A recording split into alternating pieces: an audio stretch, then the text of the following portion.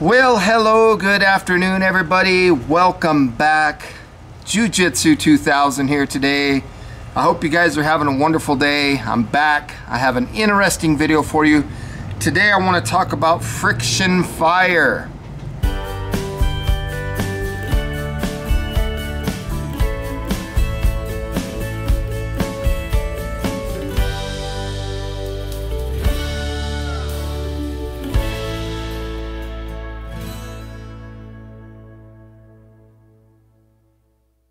I took Justin out the other day. We practiced friction fire.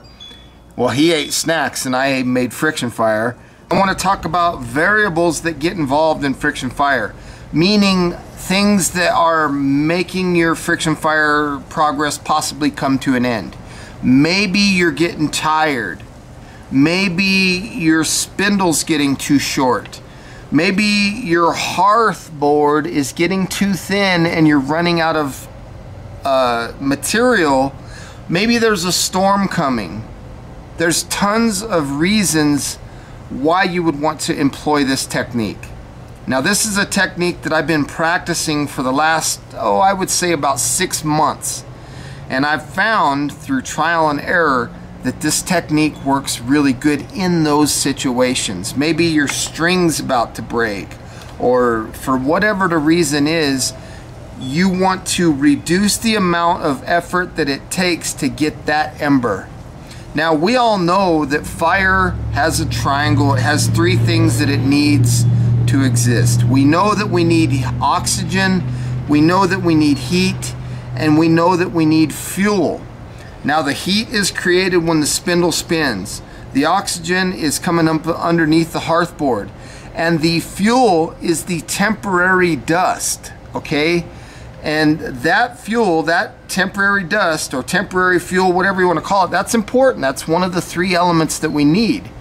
Now, maybe my bowstring is about to break and I don't have enough uh, bowstring left to completely fill this notch with dust that I'm going to make.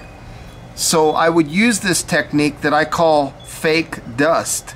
I don't know if there's other people out doing this. Surely there's somebody out there that's played with this, this technique and found that it works very well. Fake dust is any uh, droppings that come from a grass-fed animal that are dry.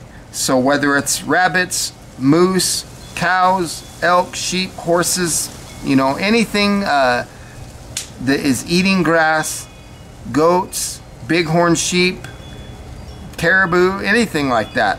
If the droppings are sitting out in the sun and they are dry, you can take that material in the form of dust and smash it up and insert it into the notch. Once it's in the notch, you don't have to create as much temporary fuel or dust because you've put fake dust in its place. That gives you a shorter amount of time in your bow drilling effort to get that thing hot and ignited to the point of combustion. And then the dust, the fake dust, takes over once the real dust gets an ember.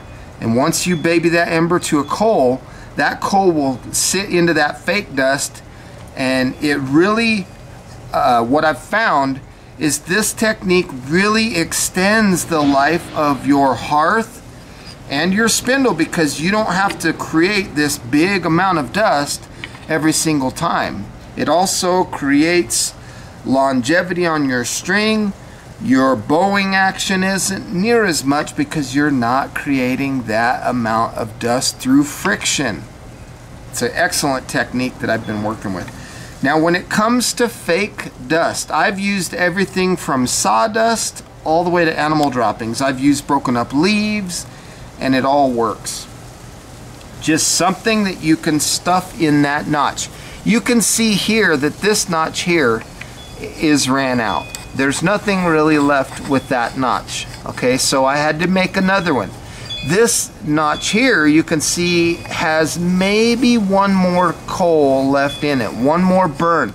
Maybe it's the end of the day, I'm losing daylight, and I don't have the resources to burn in or cut in another notch. Maybe that's the notch that I have left. I'm at the end of my board maybe. whoever knows what the variables are, but I need this notch to work. This would be the perfect example of stuffing that area full of fake dust and cranking on that bad boy until you get ignition.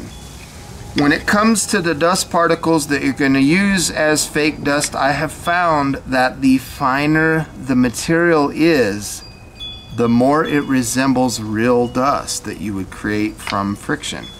So some of the best examples that I've used are, are droppings from rabbits. Rabbit droppings because they really grind up their food really good and it's really fine powder.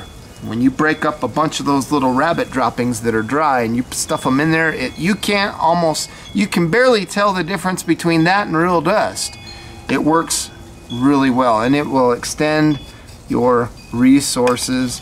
And I thought I'd share this with you. I hope you guys want to go out and try that skill. I hope it works for you. And then I want to say thank you for stopping by. Please feel free to leave your comments down below. Like this video, share this video, please give this video some traction. If you like the type of content that you're seeing on my channel, ant biting me there, please hit that subscribe button and ring that notification bell. And until next time, have a beautiful day. We'll see you then. Go out and practice some fake dust in your friction fire attempts. It's awesome. Bye for now.